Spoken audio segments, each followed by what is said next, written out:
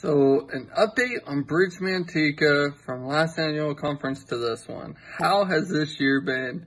Um, it's been a crazy year. Uh, a lot of ups and downs. Um, you know, we, we actually had our highest up this year uh, that sprung from our lowest down where we really didn't think that we'd be able to continue our church plant. Um, and then we got, we grew like, um, exponentially, actually, really fast. Like in like two or three weeks, we went from like literally five people to like 40.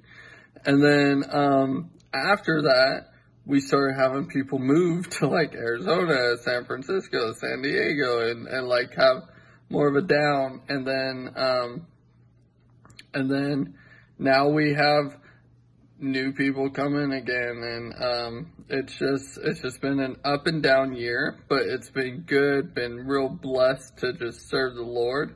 Um, and thank thankfully most of our shrinkage with the church is locationally not spiritual um, spiritually because they are still in contact with us. They um, they just don't live close enough to come be in community with us but yeah, I think the big thing for Bridge Manteca is we're just we just want to go where the Holy Spirit's taken us, and we know that the mission is not to necessarily grow um, to get get attendance, but to just love the Lord and introduce everybody we know to to our first love.